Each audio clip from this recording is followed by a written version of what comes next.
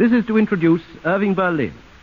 He's over here with his soldier show from over there called This is the Army.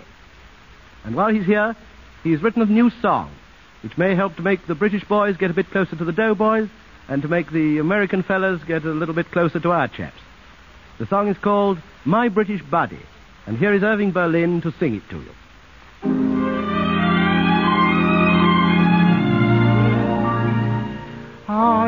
Arrived in London just the other day, speaking to a soldier from the USA. He told me of the army life he led.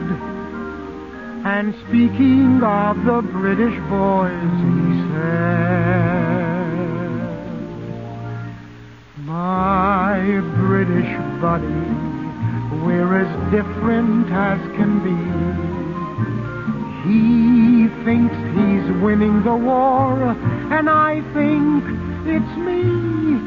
But we're in there pitching, and on one thing we agree. When the job is done and the war is won, we'll be clasping hands across the sea.